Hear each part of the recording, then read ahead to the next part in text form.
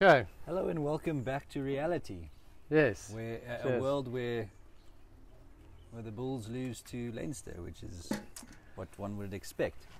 Yeah. I suppose. It was painful. Yeah, it was um, It was a lesson, wasn't it? It was a definite.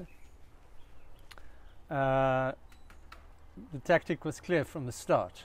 We wanted to to slow them down, to kick many box kicks, and hope for mistakes and scrum and line out as much as possible, and force them into a into a slower pace of play with as many set pieces as possible and, and as many mistakes and stuff as possible. But the, the box kicks were bad. Embrose Papier, I, I don't think had a great game.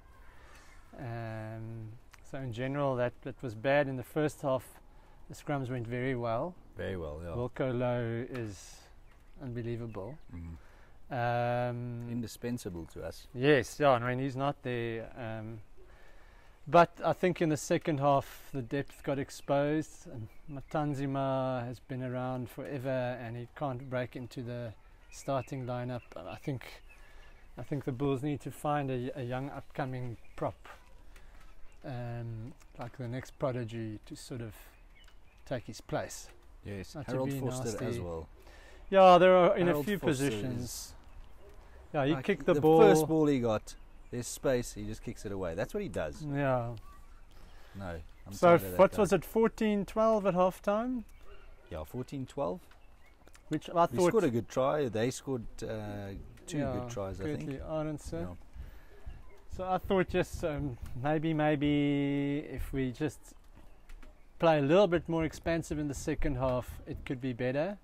And then the exact opposite happened. Leinster's normal play kicked in, and they just managed to punch holes everywhere. Yeah, Gibson Park injected a lot of pace. And guys who um, Canan Moodie didn't look good. We missed Stedman Gans. He, he looked a bit lost on the outside centre. Yeah, let's keep him at, at wing. He plays well Mm. there. Yeah, especially on on on on on, uh, on kicks, fielding kicks, and and being to be able to create gaps, line breaks on the outside. And the inside centre is a is, is a channel where you obviously there's a there's a bit more defensive cover. Um, he's versatile, but on the day he missed tackles and it just didn't look good. Um, I thought Goosen had a decent game. Um, his goal kicking is very good. Um, kept us in the first half, kept us in the game with, with good goal kicking, but yeah, the second half it just all fell apart, Yeah, and our bench wasn't strong enough. Their bench is Im- immaculate. I mean, Yeah. When Dan Sheehan. Sheehan comes Yeah. on in the second half, I mean, he just destroyed us. turnovers, scored a try. Yeah, and Gibson. Park, like as you said Yeah, and and Caelan Doris coming off the bench. No, it was just like it was like it was like boys playing against Ireland, basically. yeah. It looked like. But it's a good lesson. It's a good Mm. lesson for us. Shall we have a quick whinge about um, whether their scrummy, their starting scrummy, should have gone off? um, yes, Let's have a whinge about that. Let me tell you why that we should have, we why it's relevant. yeah, Is we're at the business end of the tournament now, yeah, so I know you want to be the best team. yeah. But how many how many times do champions of competitions, you know, lose a couple along the way, yeah, yeah, lose their way? All that matters is that you have your home final. yeah, So the question is, was that a red card offence? I thought it was at speed. He wasn't going down low. no. Uh, look, the law is there because the defending player has to protect the attacking player when making the tackle. Kurtley Arendse was completely upright. Um, McGrath, McGrath, is that him? Um, the tackle technique was extremely bad. Yeah. He's a he's a, he's Is a at speed? He's a fairly short guy at speed. Ran into him completely upright. They said the brunt of the impact was on the chest. That he he was down Yes. because of the he force himself out. because of the force of the head impact. yeah. The words of the referee was it kissed his face. Now, where in the rule book do we talk? Uh, is there anything about kissing faces No, or that sort of thing? no, it was a dangerous tackle. Um, there were no, there was no mitigation. It was a red card. Yes. Yeah. So we were not the better team. No. But but in terms of winning a championship Mm. with a home final, Mm. it's like That's frustrating that It's these things still happen. Um, Yeah. I know it's it's in Dublin. There's the crowd that you don't want to ruin the match, this and that, whatever. And before the game, and I've openly spoken about Ben Whitehouse and Andrew Brace, as I don't know how they got to the top level level of refereeing. Andrew Brace, uh, Ben Whitehouse was the TMO. It's not a good decision. yeah. Let's let's think about like remember that red card we get got against was it against Edinburgh? Mm. Marcel. What did Yeah. so? What I want to say is, you got a red card there, justified, Yeah. and then we we lost points there. You Yeah. know, we we lost as in the league points. We lost the game where Yeah. we were actually looking pretty good. Yeah. Now, if that doesn't get applied across the board, Yeah. then like then it doesn't even out. Like no one learns anything. You know. Yeah, it's all over social media, and I know people will just say sore lo- losers. I think I think there was a good chance that that we might still have lost the game. Um, But e- do even you think so without Gibson 14. Park? um, yeah, I think possibly could have happened, I think we could have strang- strangled the game. um, but uh, you just want consistency Mm. in interpretation of the laws. And then and then Kurtley Arendse gets a penalty against him in an overturned try yeah, for going for trying to kick a ball and then he kicks someone in the back. Like mm.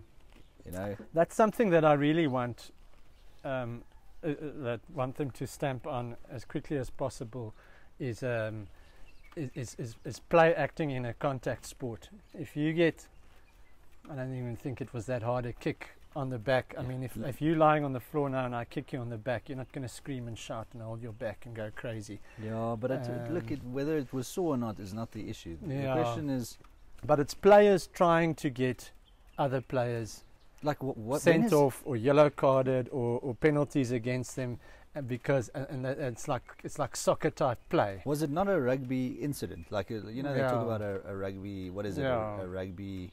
Yeah, Event. What do they call it when yeah I when think someone it's a get- rugby when, incident. when there yeah. is a when there is technically foul play, but they're like, no, it's a it's like a rugby yeah, it's incident. nothing. It's like you often see uh, uh, um, like guys dipping and it's high and it's play on Yeah. and that sort of stuff because you use a bit of common sense.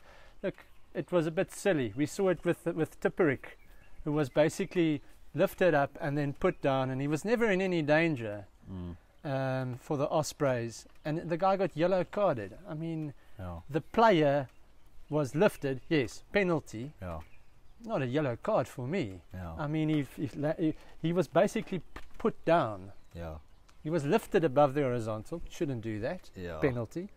But the guy was Yeah, never how in those any. two the same get the same sanction? Like Mm. Tipuric's tip, and and uh, you said it's McGraw. I'm gonna go with that name. yeah, Anyway, we don't want to whinge too much about it. It's just it does affect the season. yeah. It does affect us. Now yeah, no, because now, Now no, we've- Rick, the whole thing is going to be sore losers, and I don't think that, that we deserve to win the game. You just want, and I, I, I, I'm not going to say that that definitely would have changed the outcome, but it's um, it's bad officiating. it's bad me. officiating. Yeah. Yeah. Okay, so done with that. Um, we couldn't watch everything, but the Dragons beat Zebra, which would have been expected, but they're bottom of the log, so that would be a bit of a confidence builder for them. But that's not any bearing on, on the playoffs Yeah. with uh, with how many? One, two, three, four. what was uh, the score there? 2013 at home. The Benetton, a very good win against Connacht, Yeah. 18-14. Watched a bit of But highlights. I think. Connacht is a little bit down, maybe. Yeah, they they The Lions beat them, and now they lost to Benetton. It was in Italy, and Benetton is a good side. They uh, they, they they play an expansive game. They are, but you'd I don't know. I rate Connacht. Yeah, yeah, Like I really thought that it was a great win by the Lions last week. yeah. Like teams don't go there and win. I, I see that the Stormers have to go play Connacht over there. I don't think they'll win there. No, in Galway. Galway. Yeah, and then um, Sharks Edinburgh. Um, Lots of errors. Yes, lots of errors, lots Sharks. of errors, but much better second half. Um, some nice tries, but also very stop start. Yeah. Um, I was very happy to see that Duhan van der Merwe found the stadium because he doesn't know that Durban is at the coast. I don't know if you saw that. oh, really? Yes. Oh, really? They, they, this, there was, uh, oh man, those guys from from Rugby pass or something. it's or from? Rugby Pass. Yeah, Ah. these British guys. Are like, Okay, that's funny. oh, and they're speaking to them to Duhan and I don't see the other guys off off camera, and they're like, "Yeah, please point out where Durban is." He puts it like next to Lesotho, but on the Oh, not on really? the coast, not on, on the coast side. Okay, then then the, then the British guy is like, "Listen, um, does Durban have a beach?" yeah, And then, then Duhan's like, he's like, you can see, he's like, it suddenly dawns on him that he's Mm. put the thing in the wrong place. They're like, Oh where have you put it? And he says, he, he's he's basically in the it, Free State. he's put it in the Free State. He says that's where Joburg is. So he doesn't know where Joburg or Durban are. It's a good thing that he's a talented rugby player. maybe he should just stay in Scotland. I don't know. Yeah. Um, mention in in uh, in the Sharks game is definitely the attack of of Aphelele Fassi. Um, they Yes. question his defence, but yes, see, that guy can can punch a hole at base and, Yes. and create stuff from nothing. He had Uh, he's had one of his best games in like three Yeah. years. Yeah, I don't know, I don't know how you fix that. I saw it everywhere. I mean, I watched the Hurricanes in the morning um, in Super Rugby, and as I was watching the game, I'm like, this guy coached the Hurricanes. Um, guess now I've forgotten his His name. name, yeah. Um, that's bad because we definitely know him, but it'll come to me now. The, the Sharks coach and uh, Plumtree Plum, yeah. And uh, they just throw the ball around like you see in Super Rugby. Now in Super Rugby, all the teams do it, so the, Yeah. it's constantly frantic. Balls get passed out. It's, it's passes go to no one, and It's it- not really, it's not and it's- our way though. That's just it's, the whole thing just gets thrown around, and both teams do it, and they just want to outscore the opposition. So that's the way the Sharks are playing, and they make so many mistakes because they're trying to play that way. And the, the other thing that happens when you play that way is you undercommit at the ruck. There's never a ruck because the ball is supposed to be shifted as quickly as possible. yeah. Hamish, uh, is it Hamish Watson? Yeah, Is his name? yeah, What's that? What's the flank's name Yes. from Edinburgh? yeah. Or Richie Yes. Gray. Which one? I don't know which Yeah, I think Richie referring to. Gray. I'm referring to Richie Gray. Yeah. That guy had a field day. Yeah, because there was no, never anyone to, to, to secure the ball, and in the second half it was slightly better, the, the ball protection. And uh, yes, Hendrikse, uh, Jaden Hendrikse, uh, yeah, I don't know, didn't also didn't have a great game. Yeah, his favorite thing is complaining about what's going on at the ruck, ruck and then yeah. a Not looking ball- at the ball. You got uh, like the Sharks have seventy percent chance of still yeah, um, like getting the ball back. yeah, But then because he does that, we definitely lose it. yeah. You know. If they could just do the basics better, if they could catch the ball and clean properly at the rack, they could have won the game by 30 points. I Um, wanted to say you were talking about props just now, but that Mchunu. yeah, Mm, he's good. When he, I don't know if he was on the bench or whatever, but when Yeah. he was, when he, when I saw him on, Yeah. that's got, he's he's got some aggression there. He's got yeah, some he's power proper. No, he's he's proper. He'll play more tests, I think, in future. Mm. There's so much talent there. I, I- I just think, I just think that they, they really need a new coach because I don't Mm. think if you know if, if players play for that guy and they think "This- uh, we don't know if this is working, Yeah. then um, then you don't have the dressing room, and it, I th- think you just it's a bit difficult to execute a game plan that you don't believe in. Really. Yeah. Um, Tshituka looked pretty good. yeah, he had one of his better lot- a lot. games. He also, he also even James the on a little bit though. James Venter has Pocock arms. Did Yeah, you see? I saw. He's like this tall and his, yeah, his arms he, he as can't put his shirt put his shirt down. Yeah. Um, yeah, I think I think with the right mix, um, they'll click and they'll be a proper force. It's Yeah. a bit is injured, which I hope is not too Rib serious. injury, I see. Yeah. Yeah. Okay, so that was um, that was that. Let's carry on. Um, we watched all those in a row. Um, Lions, Ospreys. Firstly, have to give it to the Ospreys. Played really well. Defense was extremely good. Tipuric had the best match I've seen him in, in quite a while. He did everything. He was playing scrum off at one stage. He was he was doing everything. Yeah, And, they uh, were really physical. Mm, Yeah, I yeah, said at yeah, one yeah. stage, like you don't see the Welsh, the current Welsh teams play Yeah. that physically. The fly off and the fullback, excellent. Um, kicking out of hand, excellent. Brilliant defense. Um, And that wing, that wing of theirs, man, who plays for for Wales. yeah, Can't remember his name now, but he, he had a good game as well. Whenever he got the ball, there was danger. you know? yeah, yeah. They just um, they had a really good game, and, and they, the Emir- uh, the, I think the Lions just got frustrated and they, they were impatient. Yeah, but they played. Yeah, they played just the wrong tactics. Yeah. like running from their own uh, Mm. 22 when it's the field is so obviously like waterlogged. Yeah. They were used to they were used to being able to create line breaks, especially on the outside. Um, Francke Horn linking, linking up with the outside backs. They they're used to creating a lot of line breaks in a game. Yeah. And when it didn't happen, I don't, I don't think they knew what to do. Well, the, the, what Um, what happened then is then like like we were saying mistakes. that the the Ospreys were like aggressive and physical, and they there were turnovers, and then they were under pressure. And, you know, Really, really, really a game that they should have won to, to give themselves. Yeah, now they're out of now they're ninth or eleventh, Yeah, or something like that. But all, everyone's on the same points. Everyone's on the same. Points. So from from the Ospreys on 35 to the Lions on 34, you've got one, two, three, four teams. No, one, two, three, four, five teams with with a points difference. So really, anyone can break into that. To Cardiff in 12th, it's a 10 point difference. They're Yeah. on 24 points. yeah, But any of those teams yeah, but they dropped the they uh, dropped the can, ball can there. come in or out. Yeah, But if you if you if you gained four points on on on those other Yeah, teams, no it problem. would have made a big difference. yes, So really, one that they should have. especially because they still have to play Leinster. Yeah, and it's just a Those lack of leadership. I feel you see Marius Louw popping up on the wing. How often he popped up on the Yeah. wing, and and he's running in front of the guy who's supposed to pass the ball to him. Mm. I mean, that's like Stupid. yeah, like how can you pass to someone who's in front of you? And he wants to sort of gather the ball, yeah, and I don't know. It just a lot of it was just silly stuff. But also, you know, I see a lot of complaints about the ref. I watched it as a neutral. Brace wasn't terrible, but there were a few crucial, crucial things. Yeah, it wasn't. it- it Um, wasn't the ref that. Chit- Emmanuel Tshituka, uh, I mean, I scored a try, and it's it's, it's one of the weirdest things. It's definitely Like, a try. It's like, it's like the, the I don't have the biggest hands. game. I don't have the biggest hands. But if you give me a rugby ball and you put it on my hand, um, somewhere the ball is going to do that and it's going to touch the grass. I think the question is why So did Andrew there was a hand under the ball. How did, why did Andrew, Andrew Brace think that it was not a try when Yeah. he's, he's standing right That there? The guy falls with all his weight like this. Yeah, with- he's like flat on his stomach. Yeah. There's there's nothing. The ball can't be anywhere else and he's like, no. than touch grass. For me, it's uh, you know, Yeah, it's no try. On field decision. that was no try. definitely a try. And a- again, that shouldn't happen.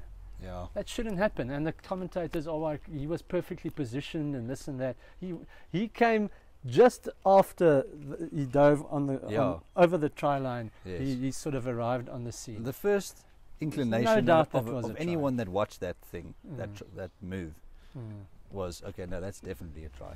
And you can always see But when there's nothing chance. under a player, Yeah. when he's lying completely flat. No, no.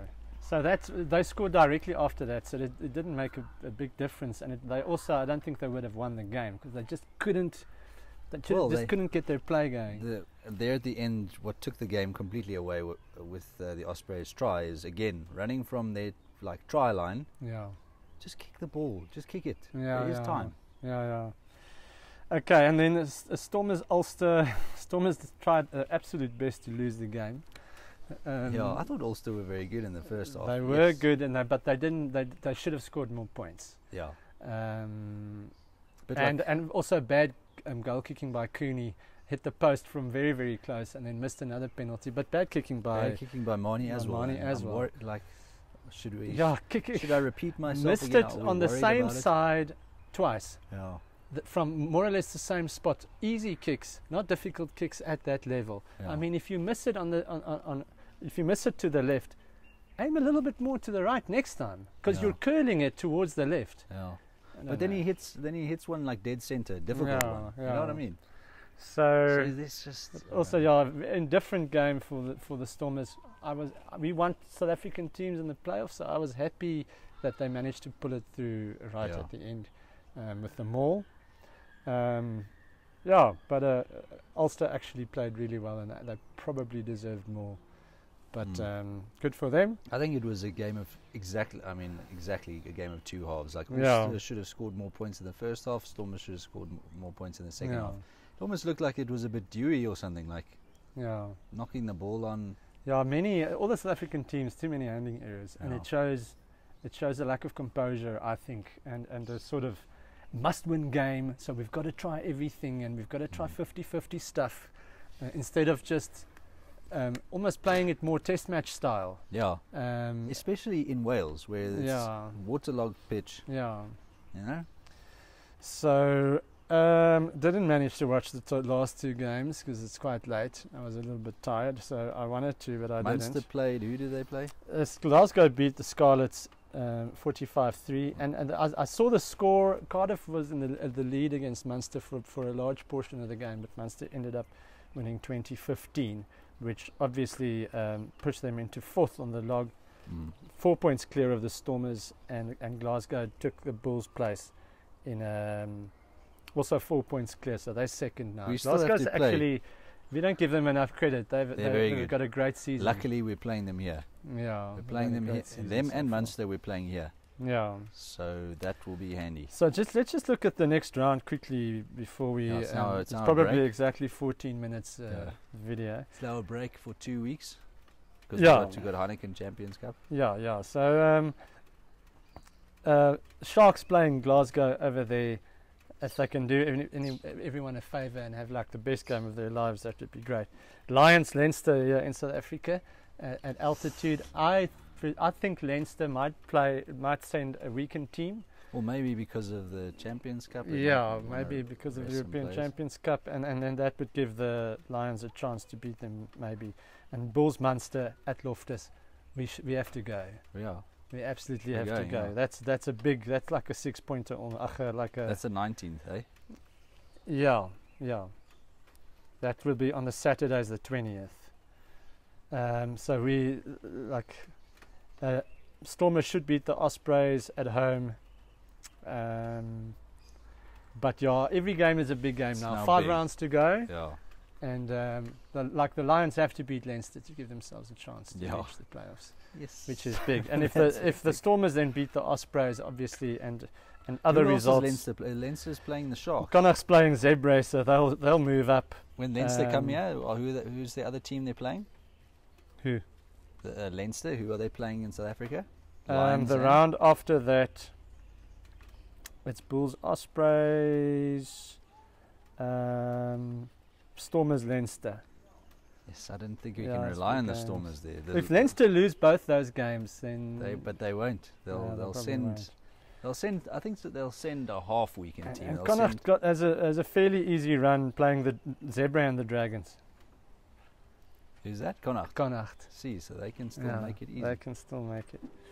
Okay, interesting. Interesting to get to this part of the season where, where every game matters. Yeah. Yeah. Cheers. Cheers.